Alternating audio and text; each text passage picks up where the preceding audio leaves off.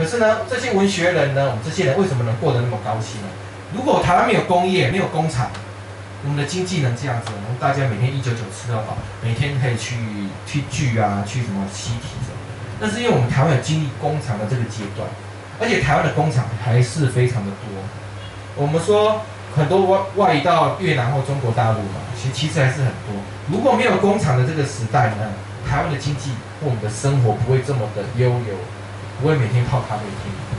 好，那回到这一点呢，我要讲一个，就是当初为什么要写这个，是因为我写了一篇文章，叫做《那些鸡毛小事》。这故事怎么讲呢？哦，这个就来到了我的母校东龙国小。东龙国小呢，小时候呢，我最喜欢在那边水池了。为什么呢？因为小时候要钓鱼，可是去溪边太危险，就跑去水池钓。于是跟我弟弟拿了个钓竿开始钓鱼。啊，可是那时候没有鱼钓不到。最惨的是校长要要死不死，礼拜天还来学校说：“哎，两位同学又过来，就被罚站了。告诉你这里不可以钓鱼，就被教就被校长训了。最先回到学校，哦，这个水池，哦，那二十年、三十年后回到这个学校呢，里面有一只鳄鱼，假的鳄鱼，一样还在，它变成怎么样了呢？一对，大家快点跑，看鳄鱼还在，永远的鳄鱼。好，那为什么回到国？为什么小时候常常回到？因为我们小学就在我家家里旁边啦。因为爸妈六日都在忙啊，妈妈在工作，爸爸有时候去打麻将，睡到中午，没有时间带我们出去玩，所以都回到学校来玩。那学校来玩是来自各地，我们那个村附近村上的孩子在学校里面玩。好，你看还在呢，亲啊，你看升旗了吗？那个那个中国又需要升旗吗？你们学校升也要啊、所以你们是哈，我们小时候都在升亲爱精神。你看这个旗旗旗杆的这个旗这个旗做日本时代的，是吗？这张旗我们在起食指看不出来是放不出来，可是这个这不知道是什么，反正就很很棒。我女儿就躲在后面。好，下一个，看这操场都这么大。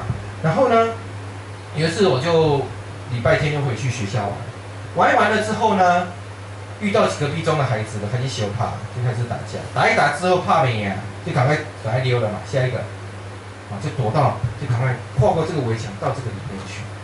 好，那我们就现在已经不一样，跨这个围墙里面去，一进去呢，发现是个什么地方，你知道吗？来，下一个，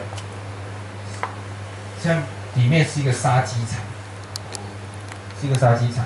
好，然后那个老板，一个中年妇女的老板娘，好心大嫂对我说，然后他就说，我闻到一股恶心的味道，往四周看，空荡的铁笼子散放，颜色波杂的鸡毛堆积在角落，还有几筐水桶，浸泡着光溜溜的肉鸡。我不知道大家有没有那个印象，你去起牛啊，就是一起撒撒料啊，用那个以前是要用人工拖了，现在有那个胖的那种脱毛机啊，就是那个像那个洗衣机那样去脱。中年妇女很快就认出我，知道我是隔壁那家铁工厂的，拉拉找找就说起比较远的不能在的关系，才知道哦，以前我每天都会经过的地方，在他家的门后面呢是座杀鸡地狱。然后下一刻呢，那老板娘就跟我说：“哎、哎，笑脸没？哎，囡仔，这边来倒沙缸，要不要来帮忙一下？”我说：“帮忙什么？因为鸡啊，哈，用热水烫一烫之后，毛拔掉之后，这个毛质就是附着在鸡上面的有一个那个那个那个那个鸡的那个核，哦，挤挤挤啊，那个如果那个枪那个如果用毛挤，如果没有拔掉的话，客人在卖过去那个价钱不好，会写说，如果你吃鸡肉还吃到那个硬硬的那个毛，就是毛腱毛脊，是不是会觉得很难受？然后他所以他的老板娘每天就在鸡翅寮旁边去拔那个毛腱，他那他就说，丽娜你要不要来打工？来我这边打工，去拔那个鸡光溜溜鸡上的毛腱，哦，一只呢一块钱，哦哦利用童工。哦，哦，我说好啊，我妈妈呢，我马细汉就甲我念讲，哦，你囡仔哦，规工的英语无代志，毋来斗三工，嘛无去趁钱，就准备要念说好啊，我我要开始趁钱。我隔壁迄个台鸡啊，台鸡啊吼，要甲要甲请，一只鸡一箍，哦，你高兴了。不仅我去拔我拔那毛子，都叫我弟弟来，然后就开始一只那时候小时候孩子不懂，嗯，鸡拢叫开，就整个被杀掉，开肠破肚，只要鸡你来起来，就开始丢那毛子。所以你过来买一块钱，五块钱，哎、可是我觉得很好，一只那个，尤其是那个翅膀旁边那个那个毛巾啊，很难拔，就拿镊子捏下就，开始慢慢慢慢慢。我第一天就赚了十几，就赚了好几块，然后就去斜对面买那种百香果冰，一一包一包七块，那是七块。啊，那时候冰都怎么包？就用这些捞盖用那塑料绑起来，就是那种塑料袋，然后绳索把它绑起来，插个吸管就可以喝，七块。这是我我人生打工赚的第一份钱。一只鸡哦，那个小朋友不懂嘛，把一只鸡刚杀完还温温的，这又会摸紧，然后做了几次之后呢？我觉得太便宜了。不是做几件事就没有耐心，就歪题了。哎呀，然后下一个，好，你看哦，拿起镊子从水血水中哦，那个回龙东西会看准鸡翅边缘的残余毛件。当做灰球中就是那岛的那壳里来处置的话，我这个眼中只有钱的高息音呐，吼，对于开肠破肚、翻脸瞪的事毫不畏只管在满是疙瘩的松软鸡皮中圈寻盘缠，去竞争默契。偷康道修狗，跑回家招呼弟弟来参与杀鸡拔毛的行列，好，那个凤凰木的树叶伴着火红花穗，我觉得我小时候国小最美好的回忆是什么？凤凰木，现在已经死了很多，倒了很多。可是它，可是嘉嘉义很多凤凰木，那么大的树冠，然后那个羽毛像那个叶子像羽毛飘来飘去。傍晚时刻，树荫从学校跨到围墙，落在流满血水的地面，和我们兄弟勤奋的身影结合在一起。所以，跟我弟弟呢，也参与了台湾经济大跃进时代的一个工作，我们也贡献了二三十块的 GDP 的那个那个那个什么那个经济的成长哈。OK，好。那后来呢？你再嘛，就鸡毛越来越难拔，就越来越无趣。对赚钱失去了兴趣，索性也不去了。杀鸡长也不知为何停业一阵子，之后架设霓虹灯，转动验光，能在穷乡荒野生存的是色情演员，哦，叫水妹妹，还在。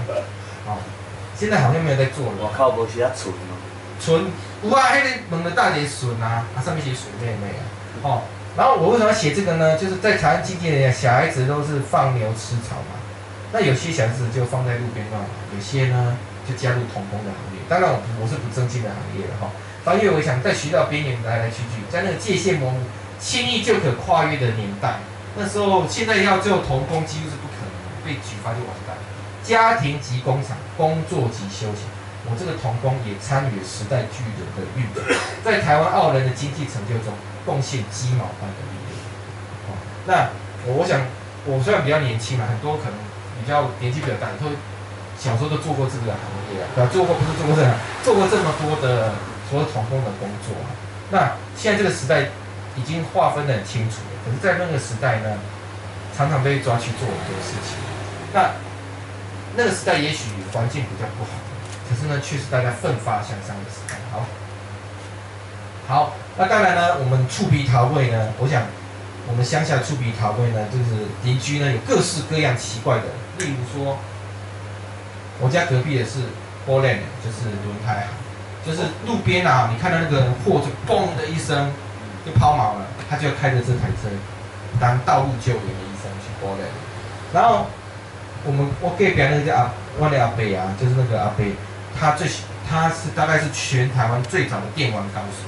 在民国在七十年左右出，他就有电脑，而且玩那个电脑游戏。大家记不记得那个小蜜蜂？就是一个可爱的，他很早就会玩。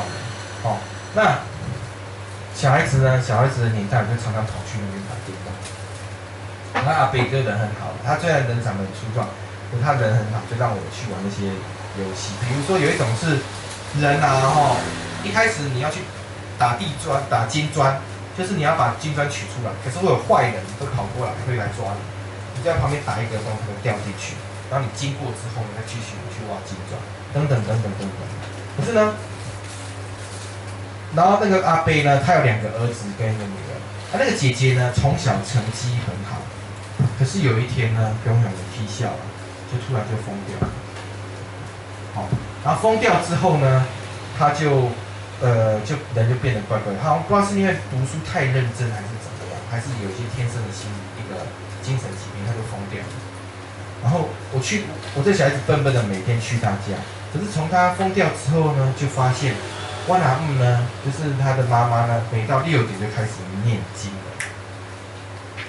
好、那我叫曼巴神哦，伸长手指戳着从天而降的圆球。大家有没有记得以前的天花这种灯是什么？这个圆球下来把它打开的，大家有没有记得？以前那个日光灯啊，一个圆球下来把它按下去它就亮了。大家想一想，记不记得这个东西？好、那他家是什么？玻璃的嘛，就是轮胎行，有充满了千斤顶、冲击帮工具箱以及无所不在的轮胎。哦，如果大家家里是开轮胎行，就是会这样；如果家里是中药行呢，就是无所不在的中药。车轮饼般的饼叠放着一整堵墙，放不下的近天花板高处的置放架，就发放在办公中。轮胎未防打滑，遇有各式各样的沟痕，环绕胎皮。所以他的家呢，跟我我家都是食品机械，他们家全部都是轮胎。哦，那他信的是什么？日莲教。哦，所以我在家家里常常模仿曼巴神，就是胡念话，南无好莲多，南无好莲高。对，那我都哇哇好厉害。哇！可是呢我为了小时候讲，哎，小朋友小朋友就说南无好莲，就乱讲一通啊。日啊。本来的佛教，日本来的佛教，对。对，然后这日莲教嘛，他的我他台北的那个传传教所就我上次还去看场，就在那个西门町那边，好、他叫日莲教嘛，对不对？口中念的是日文，因为我隔壁的那个姐姐精神出状况了，他要寻找那个西灵解脱，他就去信日莲教这样子啊。那我写的是，尤其是嘉义这个地方，嘉义这个地方充满了浓厚的日本的风情，尤其是日本宗教呢，在日治时代在推行，可是，在后来日本离开之后呢，留下来的宗教其实有什么？和嘉义比较不一样，有什么？嘉义最有名的是天理教，那个会所在东门那边啊。列入，哎，不知道我列入古迹了。在那边，然后我很多嘉义的朋友是信天理教，这是很少见的。然后天理教一开始在我去查一个资料哦，天理教在台湾本来推行的也不是很好，可是因为有一个教友呢，他跟着人去阿里山去去伐木，后来呢，就因为一个缘故呢，就在嘉义就有传教所，所以嘉义呢是因为阿里山的神木，所以天理教比较盛行。我看到是这个资料，去 w i 那看。那个你的朋友那个有没有女孩子？她她在就是那个那个她嫁给的那个人叫叫上次这个这个可以去谈一下。对对对，嘉义的天理教真的很有。他嘉义的天理教是很盛行的，跟阿里山的神木是有关系的。好、那这就是我们嘉义的一个风景。好，下一个。好、这个的话再来换一个人来唱，不要每次都是我唱啊。啊，秀这个会秀秀北的海花啊。然后那个时代除了所谓分发香，还有一种悲情的成分在，那时候歌都有很多悲情的成分。那个大姐我不会唱哎，我没有像你们的工厂这样。来唱一个啦。来听，来感受一下江蕙那时候最红了。你这不是江蕙啊？嘿，这首歌其实不好唱。其台湾在那时候的年代充满一种悲情，就是我们很穷很可怜，历史受尽凌虐，所以我们奋发想为着环境，要当来完成段永远难忘的恋情。孤单来到十二个海岸，天地悠远也无改变。不平静的海音声，亲阮不平静的心情，啊，已被静静浮在眼前。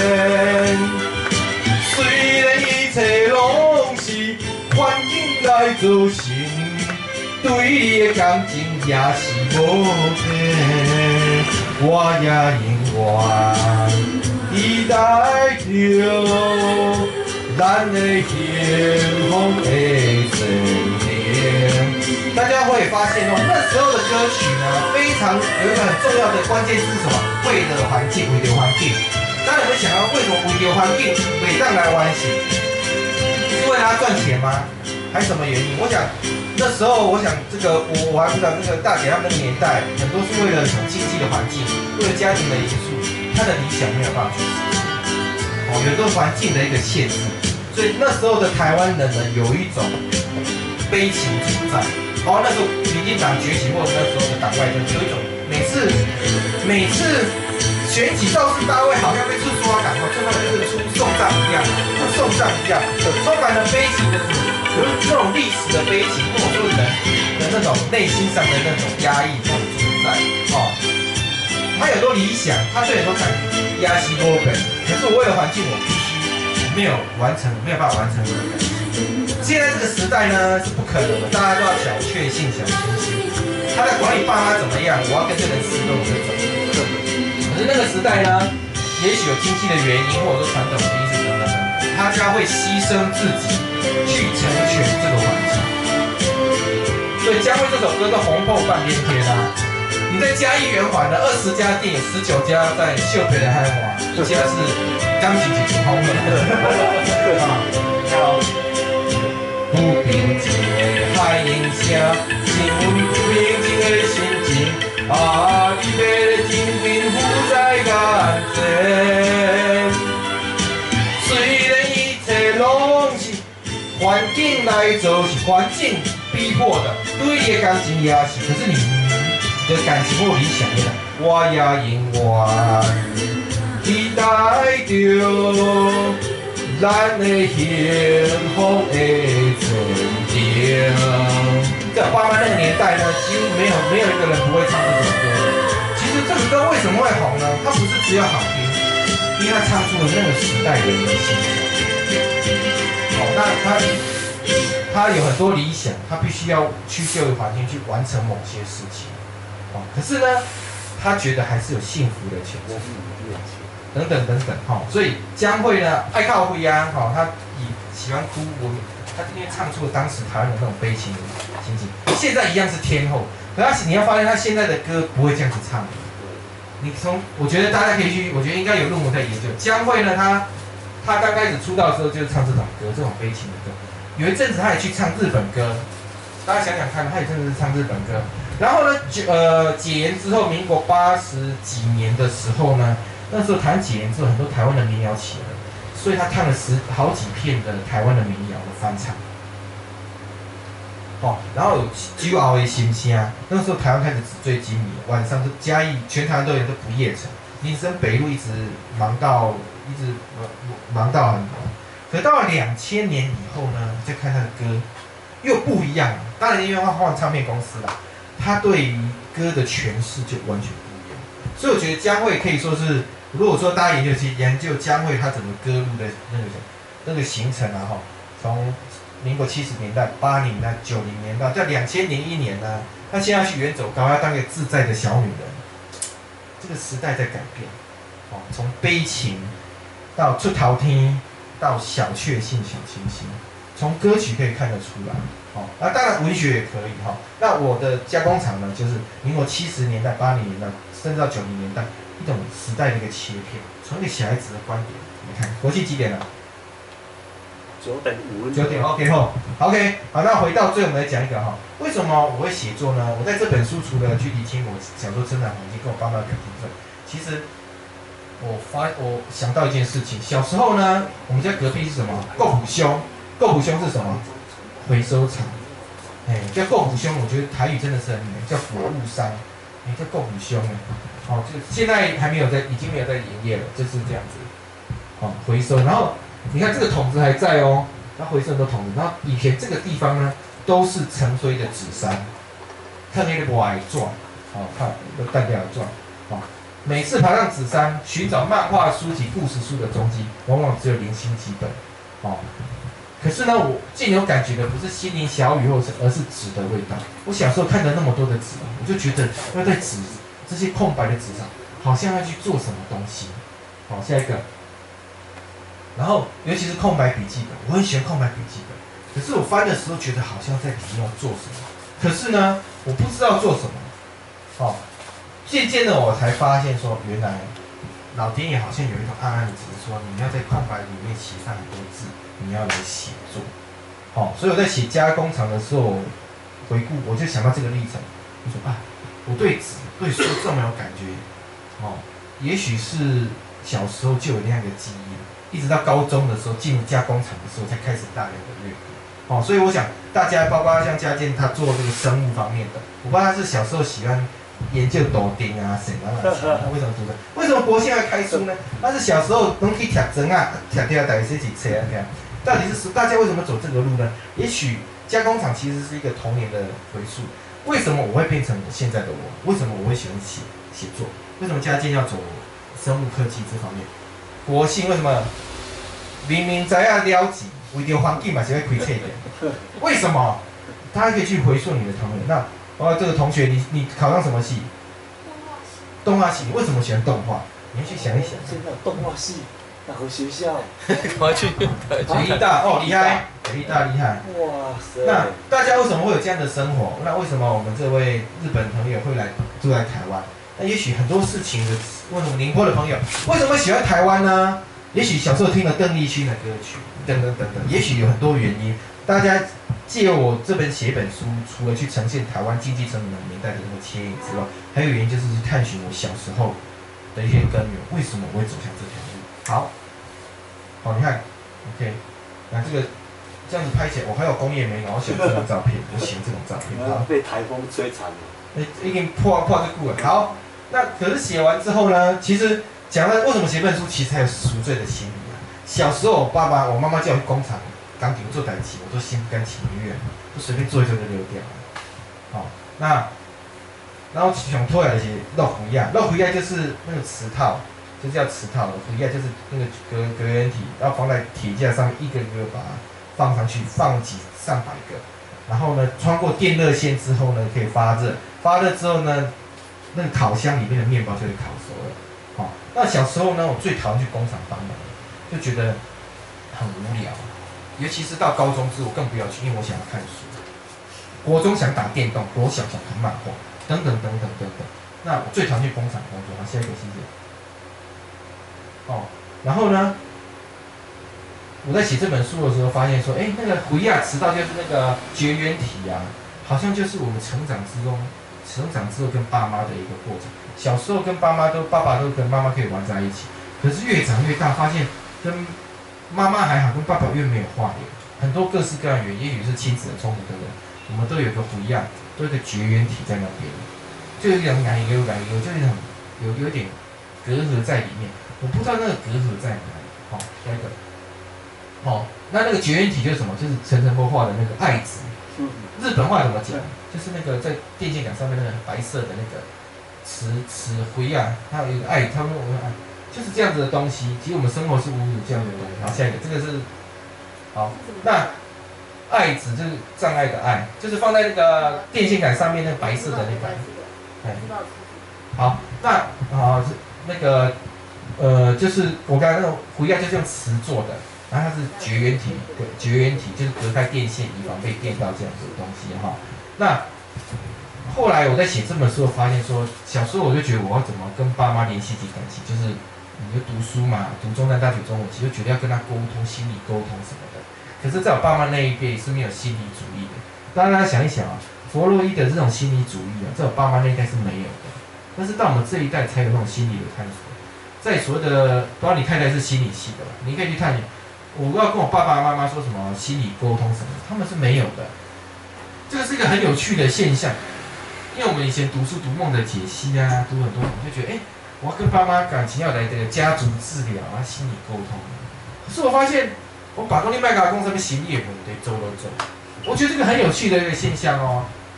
弗洛伊德这种心理主义，弗洛伊德写梦的解析是一九九一两二零呃一九零零年这个时候，那时候西方才慢慢有这个东西发国。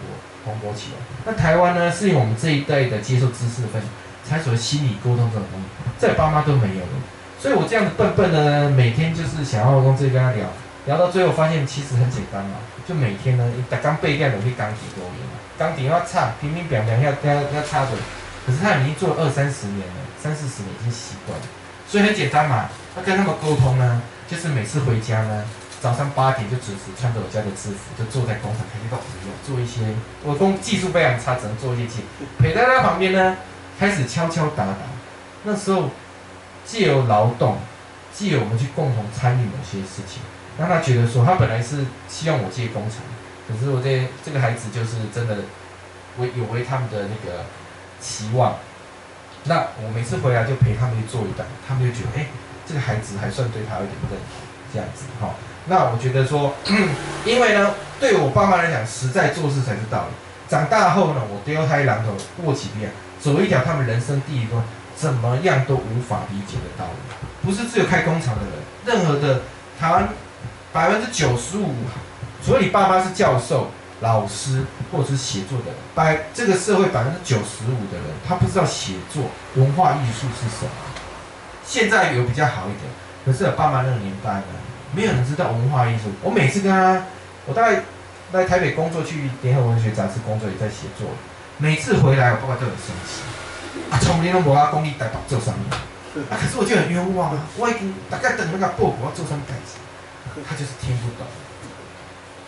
好、所以文化艺术这个东西，像村上隆说它是一种诅咒，日本作家他说是一种诅咒。文化艺术真的是不太像台我们社会一般的行业啦，它是一个比较，我不知道怎么讲，就像国庆开书房啊，那这里国庆这你国庆笑开这冲着？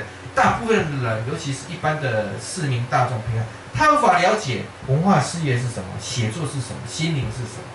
他们的生活就是西在做，就赚一分钱做一分钱，过一个很平凡的家庭生活。所以我觉得，我觉得呃，也许我们做这个行，所以我爸爸有时候会觉得说，我有时候对他一些指责，就觉得是一种知识分子的高傲。现在住台北了，他就更生气，一一定是太棒了。那我，可是我觉得对他们来讲的，那种实实在在的工作呢，才是对他们俩这种心理沟通的最好的方式。这样子，好，OK。那后来呢，加工厂之后呢，就往晃油地而去了。到底是怎么样呢？这个可能还要再讲两个小时，大家可能都睡着了，我就不再讲。加工厂就是等于是晃油地的前传。在我不小心考上，啊，考上家家中之后，不小心进入书店，认识了很多人，误入歧途之前呢，是我加工厂的生活。后来进入晃油地呢，慢慢的人生就有跟我的原生家庭、工厂、跟农业、跟我这个从小生长的农村，几乎就是一个完全不一样的一个一个世界，完全就是不一样的一个世界。哦，也代表我们台湾的社会是，一旦你一切啊，读这管，你书读得很高，你就跟嘉义人百分之八十人的生活不一样。因为嘉义人的生活是什么？就是东市场的市场的参赛、开店的人，然后每天去台塑上班的人。好、那嘉义的上层阶级就是什么？医生、老师、公务人员。那你书考得好，考上家中，考上国立大学，你就进入这个阶级。甚至有呃，大部分都是在外地。如果你没有进入这个，你就是进入了庙的委员，好、摊市场琉璃展、市场摊贩管理委员、店面的人，等等等等。好、那你也去塔图管，你都不要讲，被那不要讲台语。可是你一旦不是在这二十派上，你你生活当当中拢国语还不太会讲等等。我们台湾社会因为这个教育制度切分了八十二十。好，那我在台北有非常非常深的感觉，这个可以再讲一天，那大家都睡在这边了这样子。那可是我要讲的是说，我我为什么很常常回来嘉义？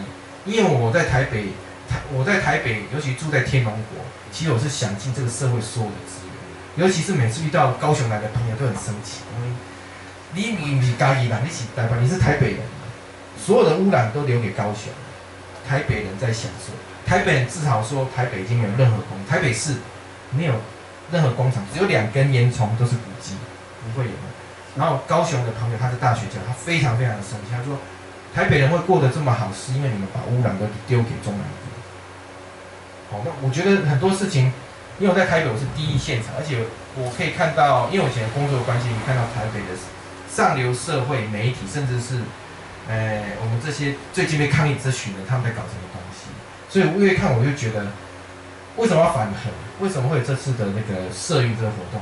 其实一般的学生他可能是评估的一个热情，可是对我来讲呢，我支持学生，因为我看到的是一个更夸张的经历。那我们社会呢，因为呃以前的教育，我们就分了好多个阶级，这个阶级造成了一种歧视，造成一种隔阂。那我现在要做的工作是什么？我希望要把这些东西让大家了解。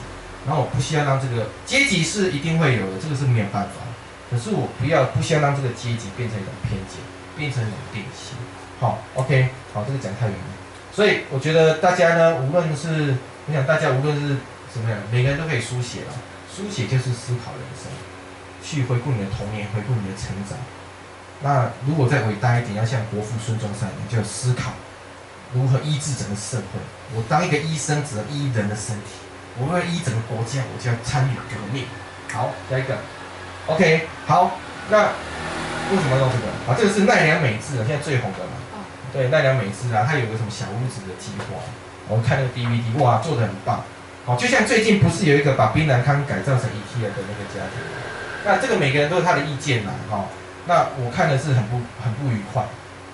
好，好，下一个，那我家隔壁有这个小屋子啊，那为什么我们要花一个几百万台币去买一个奈良美智？